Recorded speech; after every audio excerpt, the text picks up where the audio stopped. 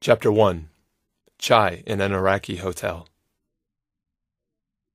How many times have I sat behind the ominous blast walls in this Iraqi hotel? Will I really be protected if a car bomb goes off outside? I would get that answer soon enough. The gaudy orange decor was offensive at first, but I eventually resigned myself to it. It can be so difficult to see things for what they are, even more so to see what they could be. I never had a room here at the hotel. Unlike most of the journalists and aid workers who frequented the hotel, I wasn't on assignment. With our families expressing deep concern over the targeted killing of Christians in Iraq, Kurdish Arab tensions on the rise, and the Sunni Shia civil war in full effect, my wife Jessica and I felt compelled to take our beautiful baby girl and move to Iraq. We lived in a house down the street from the hotel, in a neighborhood called Peace. In the winter, when the neighborhood only had about three hours of electricity per day, our home was frigid and dark. But it taught us an invaluable lesson. We don't need power to live in peace. Sure, we longed for power. It would have made everything easier. We even bought a small gasoline generator to run the lights and our computers, but using it was like announcing, We have money and you don't. So after a few can't live without it moments, we decided not to use it again. The spring was pleasant, but by the summer our house had become a brick oven. Jessica was pregnant with our son while trying to care for our daughter. Most days she navigated life in Iraq with little or no water and electricity. Without a working knowledge of local languages or a car to get around the city, she felt like a prisoner. It was becoming increasingly clear that we had not chosen an easy path, and our marriage was suffering. One thing that simultaneously made my life better and her life worse was the hotel up the road, with its Hollywood classics on the lobby big screen, air conditioning, and tableside tea service.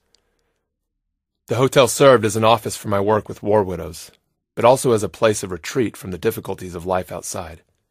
It gave respite. It was an oasis far away from some of the difficulties of life in Iraq. If my clothes smelled of burned coffee and other men's cigarettes when I walked in the front door, Jessica knew where I'd been. I could pretty much guarantee I wasn't getting that, honey, I'm home hug. There's one thing Jessica cannot abide, it's the feeling that everyone is not getting their fair share, and she certainly was not getting hers. It was Jessica's beauty and her utter lack of pretension that first drew me to her in college. But it was her passion for fairness that kept me close. Sure, I found it easy to mock. Life's not fair, as I awkwardly groped for attention and security with a woman who was utterly out of my league. But there's something completely enchanting about a woman who believes that life should be fair. Not for her own sake, but for the sake of everyone else. Still, talk is cheap. Few women are serious enough about fairness and justice to run toward the broken, forgotten people of the world. That's Jess. She doesn't have a vapid bone in her body.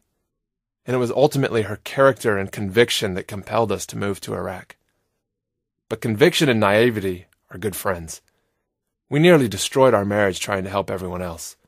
Like a Scud missile through the roof, our marriage came crashing down around us during a terrifying yelling match at 120 degree heat, where I thought my life was ending. But things were about to turn around. I imagine it took days for him to get up the nerve to approach me. He probably had to talk himself into it, giving the changing perspectives on Americans in Iraq and our inability to speak each other's language. He may have even rehearsed his speech a few times. I had been visiting this hotel cafe for months. We were familiar with one another, even friendly. But on this particular day, he had a favor to ask. In and of itself, this was not unique. I was constantly asked to give money, sponsor a green card, or teach English. Most of the Iraqis I knew were very accustomed to being rejected for these things. There was not often a lot of pushback or sense of entitlement for many of the favors we were asked to bestow. But this guy was different. I remember him being fairly solemn, as if it really mattered, and he wanted to get it right. As he nervously asked for permission to present his request, I remember thinking, nothing. I don't remember thinking anything. This was just another conversation for me. I had not been building up to this for days. I didn't have anything writing on this conversation. I certainly didn't know that his request would change my life forever. Can you help my cousin? he said. His daughter was born with a huge hole in her heart, and no one in all of Iraq can save her life. Can you help? If you're like me, you hear heroic stories and you wonder, what would I do in that situation? I'm sure I would wear the white hat and save the day. My answer to his earnest appeal came quite easily. I can't help you. I don't know anything about that. I didn't need any rehearsal time. My list of justifications was waiting at the gate to be unleashed. I'm not a doctor. I've never done that before. I don't know anything about sending children abroad for treatment. I don't have that kind of money. My organization does not handle situations like that. At this response, my friend, he was obviously more a friend to me than I was to him, could have attacked my character, quoted how much money I had spent on coffee and tea over the past months, lambasted me for my hypocrisy, or come at me for being an American. Instead, he did the exact opposite. Rather than condemn me, he praised me. Like Jessica and her conviction that the world should be fair, he was totally disarming. He appealed to my obvious desire to make things right in the world and said, Mr. Jeremy, you're an American, right? Clearly, you didn't move your family to Iraq to say no to people. You want to help people. You are a good Christian. You did not move here to say no. You moved here to say yes. Please say yes to my cousin, Mr. Jeremy. There was so much fear in my initial rejection of his need. I was so unsure of myself and where I stood in the world. I was not a leader in my organization, and my marriage demonstrated how lame a leader I was in my own home as well. I was so vulnerable to any number of attacks that he could have launched. He could have won the argument by laying waste to me in my attempt to hold his family's suffering at arm's length. But he was interested in more than scoring points for the home team. He saw life in the balance. A little four year old girl whose mommy and daddy loved her very much. He didn't care to be right. He cared about saving her life. And his insight cut my hardening heart and made me alive again. I did move to Iraq to help people. I did not move to Iraq to say no. I was convinced that I could make a difference, and I intended to say yes as often as I could. Jessica always says, You catch more bees with honey than vinegar. He clearly believed the same thing. I reversed my answer. He disarmed me, and I said yes. A few days later, I was back in the hotel lobby to meet with the cousin and read the medical reports. I had no idea what I was doing. I couldn't read a medical report to save my life. I didn't have a background in social work. I was a complete novice. As the cousin walked through the door of the cafe, my heart melted. He had brought his little girl with him. The best decision he could have made. When I saw her, I thought of my little brown eyed girl, Emma. Was there anything I wouldn't do to save her life? How many doors would I knock on? How long would I beg? To what degree would I debase myself to see her live? I was a goner before the meeting ever began. I stood up to greet the man, a kind hearted father a few years my senior he was shorter than I. I think he had a mustache. He was gentle, respectful, and very guarded, as though a single misstep on his part could cost his daughter her life. I realized how little I understood about the world, about power distribution, about how it feels to be completely at the mercy of another. It's amazing how many thoughts can go through your head in a few minutes. As I think back on that meeting, I have this image of myself begging on the street corner for money to pay for my daughter's surgery. I don't think I've ever done anything altruistic in my life. Everything I do is probably motivated by some sense of guilt or out of a desire to stave off my own demise. It's hard for me to ascertain whether I was compelled to help this dear man because I saw him in need or because I conjured up an image of myself in need. We regularly tell one another to put yourself in their place or walk a mile in their shoes. I saw myself standing in his shoes, on the corner, begging for change with my little girl in my arms. I was terrified. But I don't think I was terrified primarily for him. I think I was terrified for myself. Whatever the case, I was moved by the idea that this little girl could die without someone who would take the risk and intervene. And I knew I would want someone to take a risk for me if I was the one holding my Emma in search of surgery. The medical reports were unclear to me.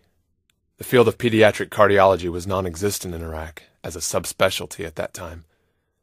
My impression was that she had a hole in her heart. That sounded bad enough to get my attention. It seemed reasonable enough to assume that major organs were not supposed to have extra holes in them.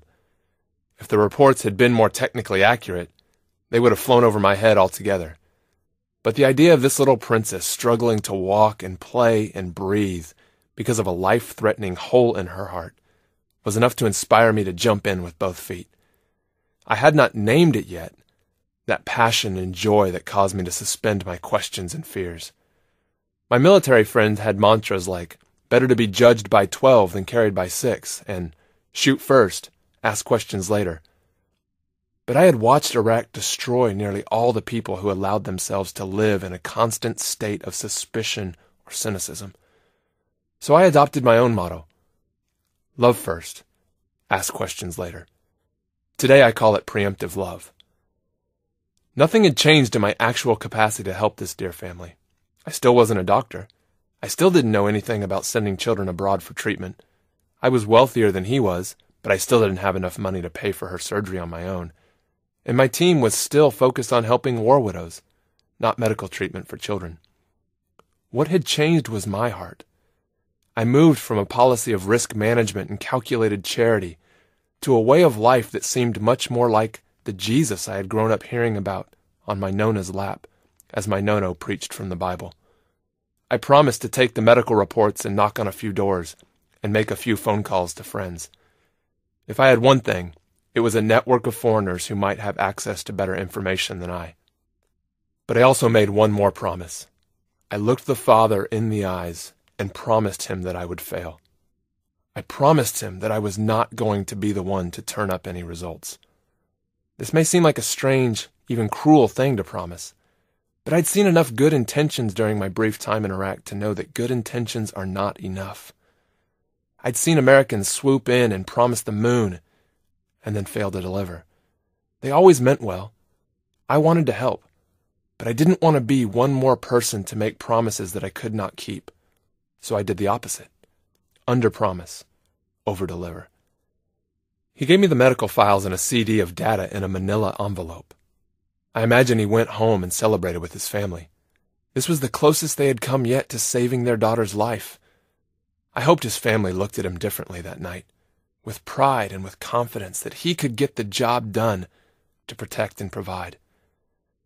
Deep down, I hoped that helping this little girl would cause Jessica to look at me again with pride and trust that I could protect and provide for our family.